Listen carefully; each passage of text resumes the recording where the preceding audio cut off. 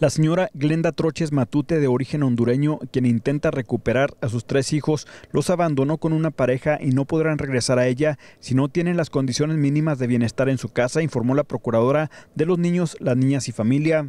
Hace dos semanas viene eh, una pareja y nos comenta que tiene tres menores viviendo con ellos un menor de seis, uno de cuatro y uno de tres, dos son, de, son mexicanos y uno de nacionalidad norteamericana, que son hijos de una familia hondureña. Nos dicen que tienen más de una semana con estos niños y vienen a, preguntarnos cómo pueden regular su situación jurídica debido a que los menores no, no están en, en la escuela.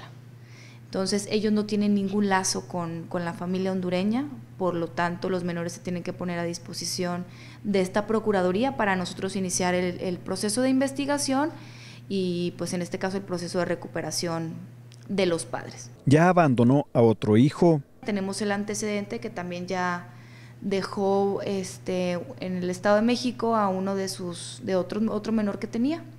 Ella tiene en total cinco hijos, tres que tenemos nosotros, el que está en otro estado y un adolescente que vive con ella. La madre podrá recuperarlos si les garantiza un hogar digno.